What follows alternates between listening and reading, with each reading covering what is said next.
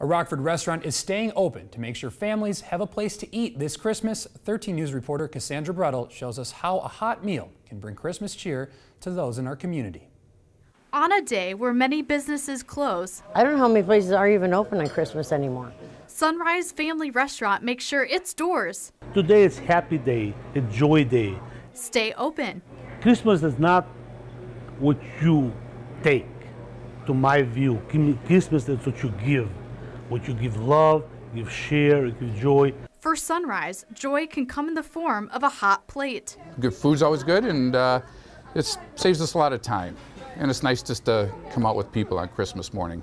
For customers, eating out on Christmas is a way to spend time with family. We're regulars, and uh, the, the staff here they feel like we feel like they're part of the family. And if nobody else is at home, we're you know it's good to come out and spend Christmas with them and show our appreciation for them. You know, taking the time out of their schedule to stay open and work and help us out. I think it's nice because they're willing to come here to work and uh, help and do it for to do it for other people. For workers like Lori Bowling, serving meals to people who may not have family close by is the perfect way to give back. I don't mind being here for Thanksgiving, Christmas because I'd rather be here for people that have nowhere to go.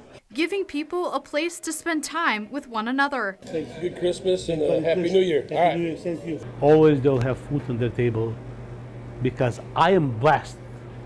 And that blessing, I won't give it to somebody else. For your 13 Weather Authority, Cassandra Brittle, 13 News. Now, another way Sunrise Family Restaurant gave back is by providing a free meal to those who may not be able to afford it on Christmas.